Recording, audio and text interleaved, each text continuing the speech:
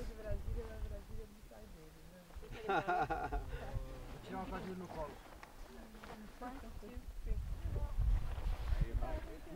Como é que chama aqui? Vale da Lua. Vale da Lua? Ah, Valle de la Luna. Não, calma aí, eu não peguei. Pega você.